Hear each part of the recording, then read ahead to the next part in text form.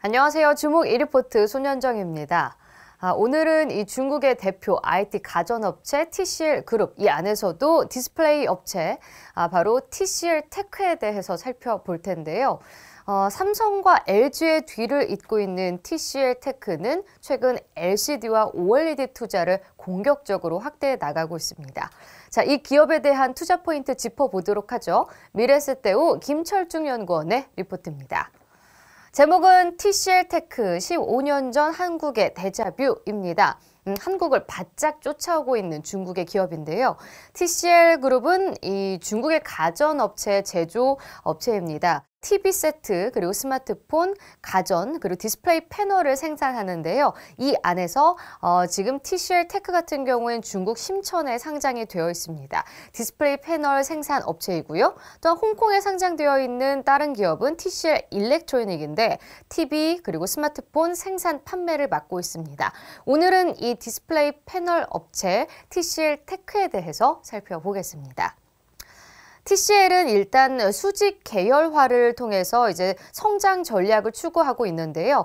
부품 시장 점유율 확대와 더불어서 제품 브랜딩 강화 전략을 내세우고 있습니다. 이는 15년 전에 삼성과 LG가 성장했던 전략으로도 꼽히고 있는데요. 그러니까 TCL 테크는 LCD와 OLED 패널을 생산하는 업체인데요. LCD 산업 내 지위가 지금 견고해지고 있습니다. 2019년 10.5세대 이상 라인이 가동이 본격화되었고 또한 국내외 경 경쟁사 대비해서 시장 점유율을 계속 확대해 나가고 있습니다. 단위당 원가 개선이 진행이 되고 있는데 어, OLED 투자도 함께 지속이 되고 있는데요. 음, 코로나에도 불구하고 올 상반기에 어, 지금 우한 라인 투자가 OLED 투자 그리고 광저우 쪽에서도 계속 추가적인 투자를 진행한다는 점에서 앞으로도 계속 유망하다라고 파악할 수 있겠습니다. 한국은 LCD에서 OLED로 계속 전환하고 있는 추세이죠. 예, 한국 LCD 패널 업체가 이제 이렇게 셧다운이 된다면 어, 이제 TCL 테크가 수혜를 가져갈 거란 전망이 나옵니다. 아, 일단 삼성 디스플레이가 21년까지 LCD 라인을 모두 닫을 예정이죠. 그리고 LG 디스플레이도 광저우를 제외한다면 이제 올해 모두 다 중단을 할 예정입니다. 아, 이에 TCL 테크는 LCD 시장 점유율이 늘어날 수밖에 없겠죠.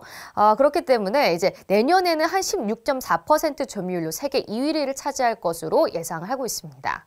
뭐 중장기적인 관점에서 OLED 투자도 계속 지속하고 있죠. 코로나로 인해서 lockdown이 걸렸는데 어, 이 시점에서도 신규 투자를 계속 진행해 왔다고 파악이 됩니다.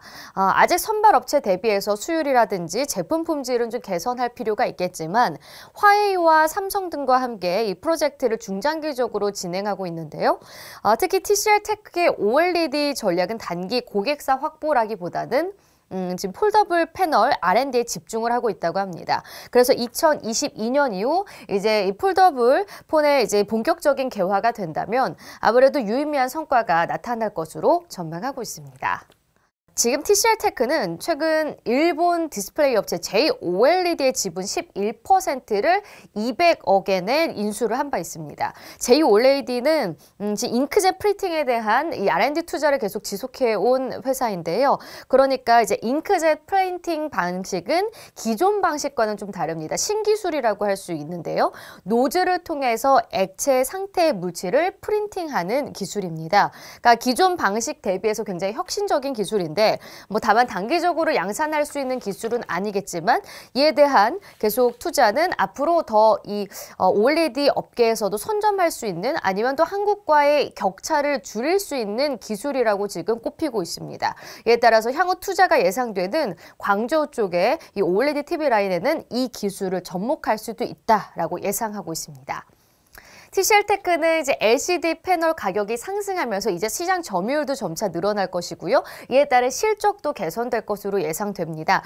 향후 실적과 주가에 대한 전망 긍정적으로 나오고 있는데요. 일단 지금 이 12개월 선행 PER을 보시면 한 20배 정도로 예상이 되고 있고요. 어, 또한 에비타 즉 현금 창출 능력도 계속 확대해 나가고 있는 상황입니다. 이에 따라서 TCL 테크에 대해서 긍정적인 전망을 제시했습니다. 네, 그럼 오늘 주목 이 리포트 요약하겠습니다. TCL테크 글로벌 2위 LCD 패널 업체로 부상하고 있습니다. 또 길게 보는 OLED 투자도 지금 전망이 되고 있고요. JOLED의 지분 인수로 글로벌 격차도 축소할 수 있다는 점에서 긍정적인 평가 제시했습니다. 네, 지금까지 주목 이 리포트 손현정입니다.